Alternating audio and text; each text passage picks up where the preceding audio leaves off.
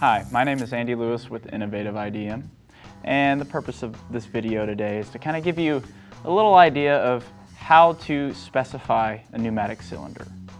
I'd like to let everybody know that it isn't as hard as it might seem to be.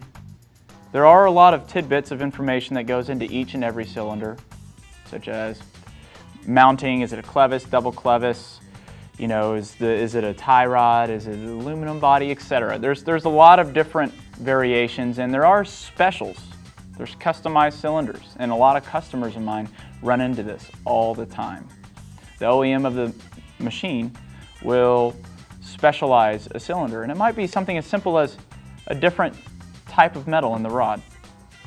It might be food grade oil and grease inside the cylinder. So oftentimes you're able to get a functional replacement without having to go through the pains of developing every single last piece of information that might be about that cylinder. So I'm just going to give you a couple quick ways to gather some information and then hand that over to your local IDM rep and, and we can go from there. All right, so first off, application. The cylinder.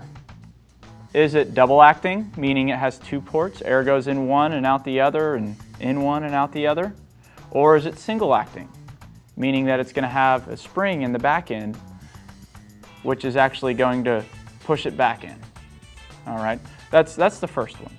Second off, the environment, operating environment.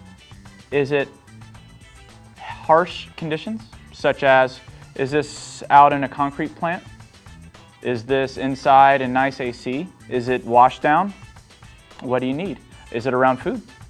There's a lot of different changes in a cylinder that, that, need to, that can happen based upon that. Next, operating pressure. What are you regulating your pressure down to, to the cylinder, through the valve, etc., that gets right here to the cylinder? All right, and this is also going to have an effect on how much force is required. All right, so that's very important. Let us know what type of operating pressure are you're using. Next is force. How how heavy is the object that you're pushing? How difficult is it? How long does it take to actually reach the full stroke, etc. All that's very important to us.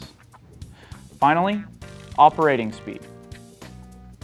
How quickly, how often within a time period do you need to actually cycle through the cylinder. All this information is great.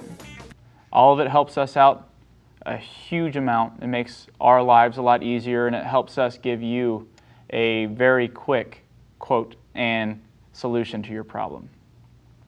And the last thing is going to be tubing size and port size. That's it. That's a cylinder. If you'd like more information on cylinders or other pneumatic equipment, please go to innovativeidm.com for more information. And remember, Innovative IDM is the home of your legendary customer experience.